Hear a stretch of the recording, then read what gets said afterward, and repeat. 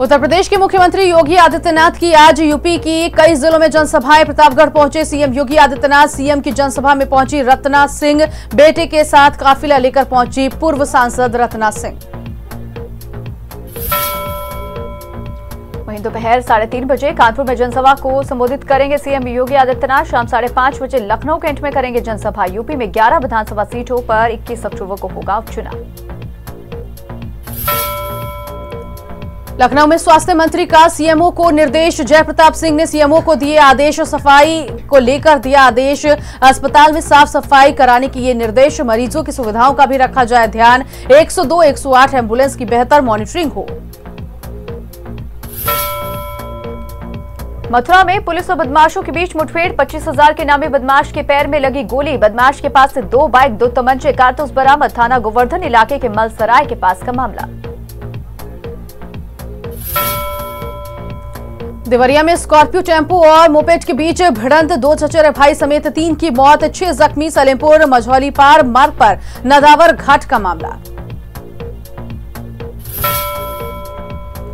बिजनौर में स्कूल में बच्चे झाड़ू लगाते हुए कैमरे में कैद। प्राथमिक विद्यालय में बर्तन साफ़ करते हैं बच्चे झाड़ू और बर्तन साफ़ करते बच्चों का video viral. Lucy Park Girls High School का है पूरा मामला।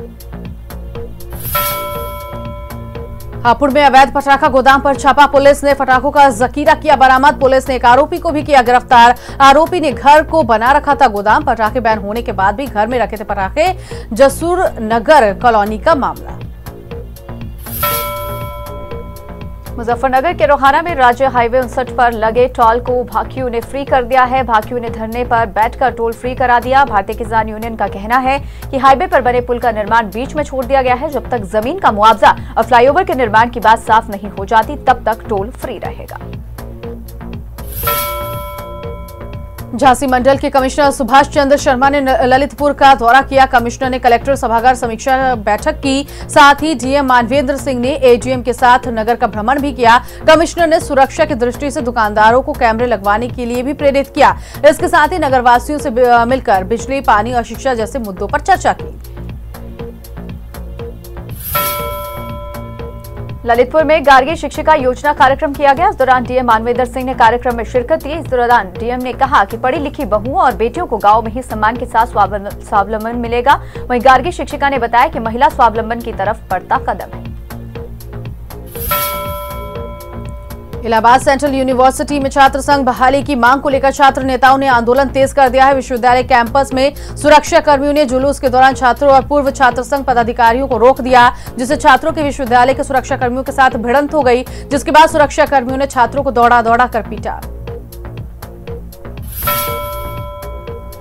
ललितपुर में अवैध देशी शराब का कारोबार जोरों शोरों के साथ चल रहा है। आबकारी विभाग और पुलिस ने देशी शराब के खिलाफ अभियान चलाया। इस दौरान पुलिस ने ग्राम चीरा में छापेमार कार्रवाई की, जिस दौरान पुलिस ने एक दर्जन से ज़्यादा देशी शराब की भट्टियों को बर्बाद कर दिया।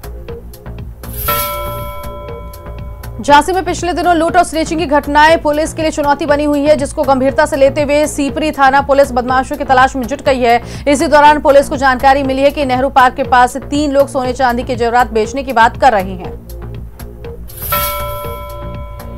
मुजफ्फरनगर में पुलिस और बदमाशों के बीच मुठभेड़। मुठभेड़ में एक बदमाश गंभीर रूप से घायल। पुलिस ने गंभीर हालत में अस्पताल में करवाया भर्ती। दूसरा बदमाश अंधेरे का फ़ायदा उठाकर फरार। बदमाश के खिलाफ कई आपराधिक मामले हैं। दर्ज